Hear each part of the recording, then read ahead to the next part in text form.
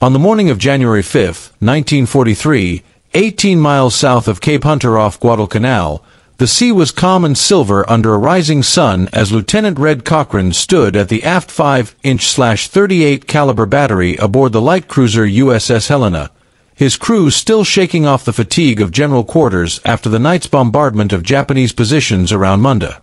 They had barely secured from action when four Japanese D-3A Val dive bombers, their engines droning like angry hornets, emerged low over the water, streaked across the task force, and vanished into the morning haze after a blistering 90-second attack run.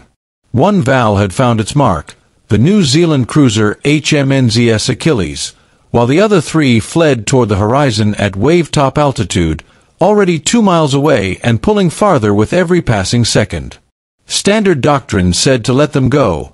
No American gunnery manual recommended taking a shot at retreating aircraft at that range.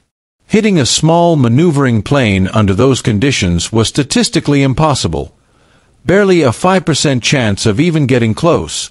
But on this morning, something aboard Helena was different. Commander Deak Parsons, a naval ordnance specialist from the Office of Scientific Research and Development, stood near the battery observing intently. He had traveled from Washington with 500 rounds of secret ammunition loaded under armed guard two months earlier, rounds equipped with mysterious fuses that no gunner fully understood. They looked ordinary, five inches long, threaded into the nose of a 54-pound high-explosive shell, but the brass felt subtly heavier, and if held close to the ear, a faint electrical hum whispered from inside. Parsons had waited months for the right moment.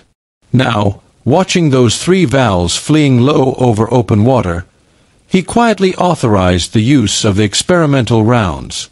Cochran ordered three salvos. The first missed entirely.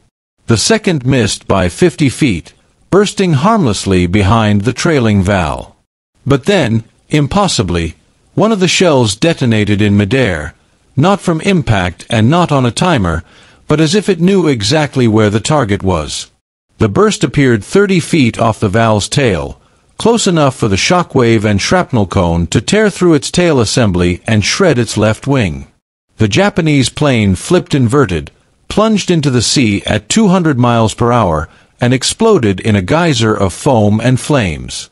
For a heartbeat, the gunners stared in stunned silence. They had seen a shell explode near an aircraft without hitting it. They had witnessed something that should have been impossible, the first combat success of the proximity fuse, a technology that would change naval warfare forever. The need for such a weapon had been painfully clear since December 7, 1941. During the attack on Pearl Harbor, American anti-aircraft batteries fired thousands of rounds with almost no effect. At 0758 that morning, aboard USS Oklahoma, Ensign John Charles England, the ship's damage control officer, watched the battleship's 5-inch guns blaze skyward, their timed fuses set for 3,000 to 5,000 feet, while Japanese torpedo bombers screamed in at barely 1,500 feet. Shells burst harmlessly thousands of feet above their targets. England continued directing teams as torpedoes slammed into Oklahoma's port side. One hit, then another, then another, each blast tearing open steel until water rushed in unchecked. As the ship listed further and men slid across the tilted deck, England kept sending sailors to seal compartments and kept returning into the flooding interior to pull trapped men out. He saved at least three before Oklahoma finally rolled over, entombing him and 415 others. If American anti-aircraft fire had worked, maybe some of those torpedo planes would have been stopped before releasing their weapons.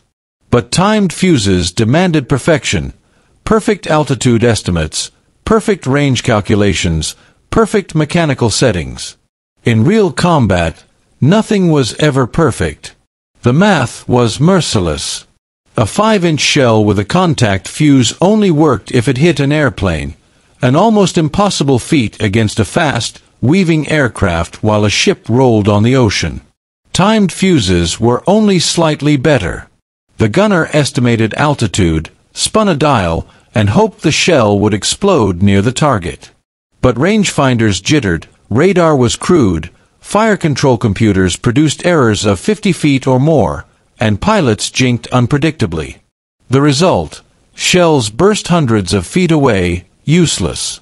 During the Battle of the Eastern Solomons, USS Enterprise fired 1,200 rounds of 5-inch ammunition and shot down just two planes. Across the Pacific, Cavite Naval Yard, the dry-docked submarine USS Sealion, the carriers Lexington and Yorktown, the story was the same. Thousands of rounds, minimal kills, ships sunk, and sailors dead. Something had to change. The solution had begun quietly in August 1940 in Washington, where physicist Merle Tuve, a brilliant, stubborn innovator, accepted a task most engineers considered impossible. Design a fuse that could sense a nearby aircraft and detonate automatically. The constraints bordered on insanity. The entire device had to fit in a 5-inch shell nose, survive 20,000 gs of acceleration, withstand 25,000 revolutions per minute of spin, operate in extreme temperatures, contain a radio transmitter, a receiver, a miniature antenna, a detonator, and a battery, and still be simple enough to mass produce by the hundreds of thousands. British and German scientists had already tried and failed. Radio tubes shattered under launch forces. Circuits snapped. Batteries leaked. Every attempt ended in failure. But Tuve's team, Section T, refused to quit. They partnered with Sylvania Electric to build a new generation of rugged miniature vacuum tubes, thicker glass, tiny shock-mounted filaments, redesigned internal supports. Hundreds shattered during testing. Engineers fired tubes in centrifuges repeatedly until only a handful survived. Slowly, failure rates dropped from 90% to 10%. They created a reserve battery that activated only after firing, when a glass ampoule broke under G-force and released its electrolyte. They turned the fuse's brass casing into a functional antenna. They built three independent safety systems so the fuse could never arm accidentally. And they trained an army of women in factories across America to assemble these delicate electronic masterpieces, 130 components each, under strict secrecy rivaling the Manhattan Project. Every fuse was tested. Every failure dissected. By January 1943, they had 5,000 working units. Tests came next. At Dahlgren Proving Ground and over Chesapeake Bay, the Navy fired proximity-fused shells at radio-controlled drones. Planners expected days of troubleshooting. Instead, the tests ended in 90 minutes. Three drones were shot down with four shells. The Navy canceled further trials. The technology worked, and it worked brilliantly. That was how 500 rounds ended up aboard USS Helena, escorted across the Pacific by Commander Parsons, each crate labeled Top Secret. The gunners called them Spooky Shells. And on January 5th, they proved their worth with a single impossible kill. Word spread fast. Enterprise and Saratoga used proximity fuses in February 1943, downing six torpedo bombers with just 84 shells.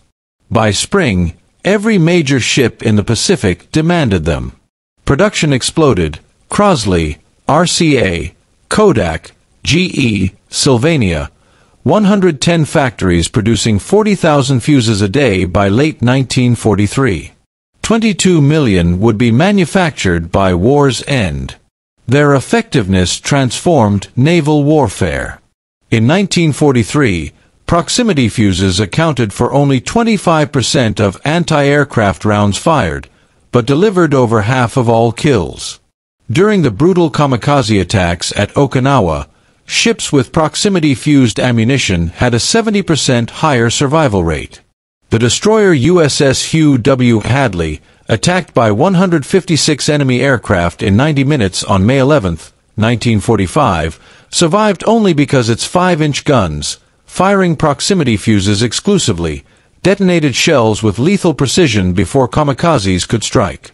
Even when German intelligence captured 20,000 of the fuses at Malmedy during the Battle of the Bulge and examined them, their own procurement experts dismissed the technology as impossible. They believed vacuum tubes could not survive the forces involved. They filed the report away. No countermeasures were ever developed. By then, it was too late. The proximity fuse, born from physics, desperation, and relentless innovation, had rewritten the rules of anti-aircraft warfare. And it all began the moment Lieutenant Red Cochran watched an impossible Midair explosion tear a fleeing dive bomber out of the sky, not with a lucky hit, but with a shell that could think.